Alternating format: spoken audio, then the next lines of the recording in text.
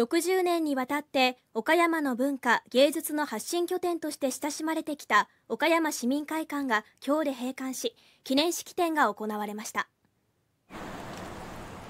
岡山市民会館は1963年3月の開館以来コンサートや演劇などさまざまな文化芸術を発信してきましたが老朽化などに伴い閉館が決まりました。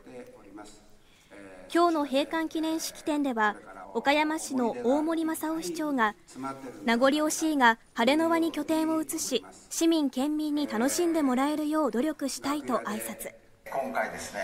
集まったおよそ800人の市民や関係者らが名残を惜しんでいました。